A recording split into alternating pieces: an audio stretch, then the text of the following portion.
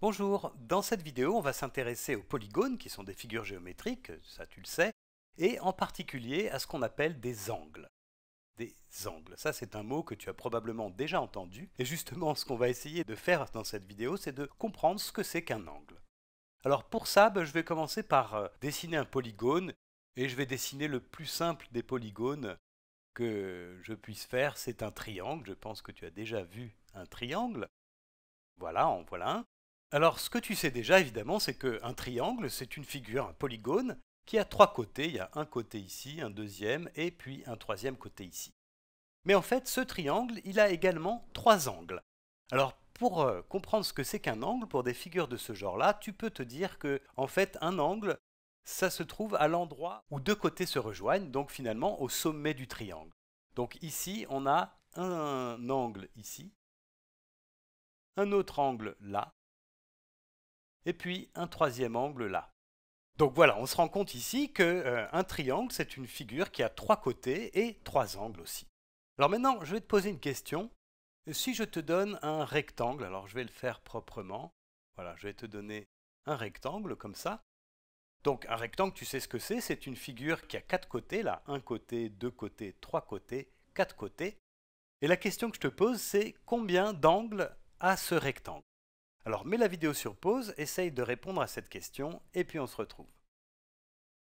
Donc on va y penser exactement de la même manière que ce qu'on a fait pour le triangle, c'est-à-dire qu'on va penser à un angle comme l'endroit où deux côtés se rejoignent.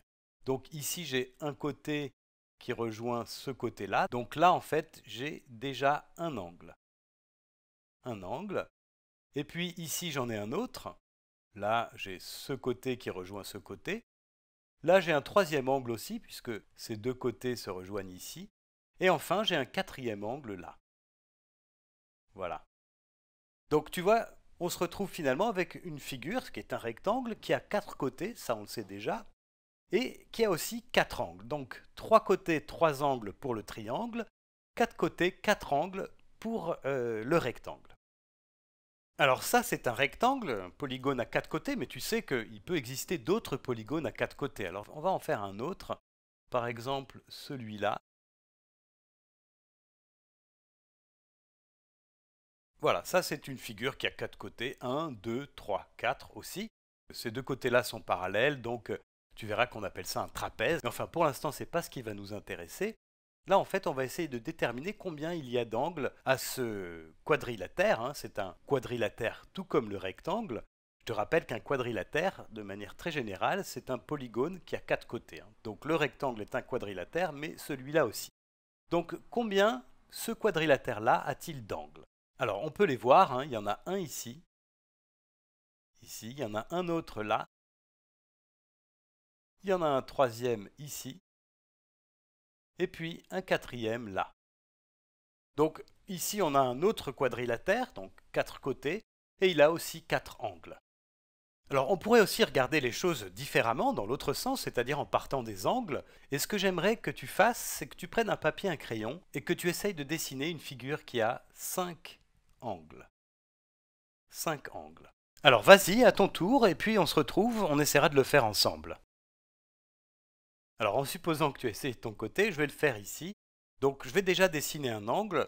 Donc d'après ce qu'on a dit tout à l'heure, c'est un endroit où se rejoignent deux côtés. Donc voilà. Ici j'ai déjà dessiné un angle. Si je rajoute un côté ici, je vais dessiner un deuxième angle. Là j'ai donc deux angles.